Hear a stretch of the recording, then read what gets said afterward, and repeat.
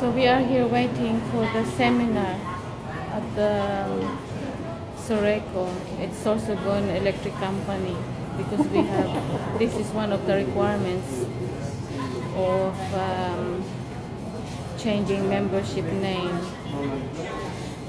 with the company. You So we always were- talk to yourself, or are you we- just going silly? we um, came very very early, so we ended up Oops. we ended up um, stopping by the opening day of Jollibee, and it was very very exciting. Hey, stop yawning.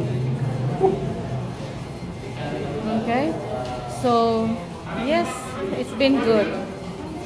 Um, see what happens. I don't know what we're gonna talk about.